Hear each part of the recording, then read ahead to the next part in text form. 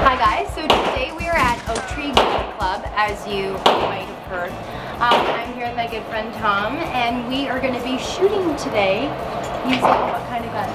Glock 17, Glock, Glock 19, 17, Glock 19. Smith & Wesson 659. Yep. So a lot of guns for a top secret project that you guys are going to be seeing very soon. My character in this top secret project is having to shoot these guns, which is why I'm here, so I can learn the proper ways, to shoot the gun, how to check a gun.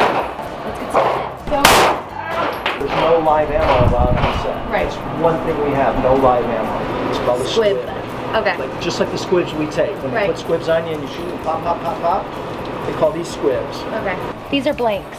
These are all real. There's no blanks here today. This is a different kind of scary. Number one.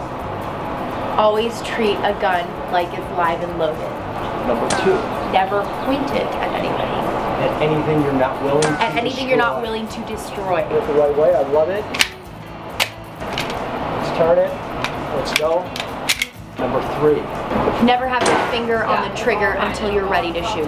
That is correct. That's awesome. I love actors. You, you guys are good. Am I doing the real deal now? The real deal, kid. Okay, is everybody ready?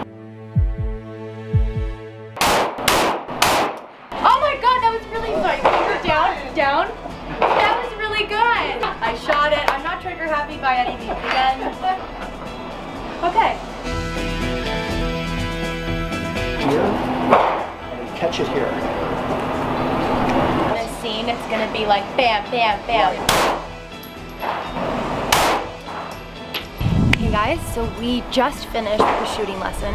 I'm so excited because anytime I get the opportunity to pick up a new skill, I'm always down for it. Learning how to load a gun, shoot it, aim it, clear it, check it, it's all very important things, especially for the role that I'm going to be playing, which is the really fun part about getting to be an actor is you get to learn different things and they really do throw you in there and they want it to look as real as possible, which is why we were shooting with real bu- bullets, we were using real guns, and we were here today and I had so much fun. But again, just another really fun thing to know and to learn. I don't ever want to have a gun, but that was fun to shoot. Okay, job done.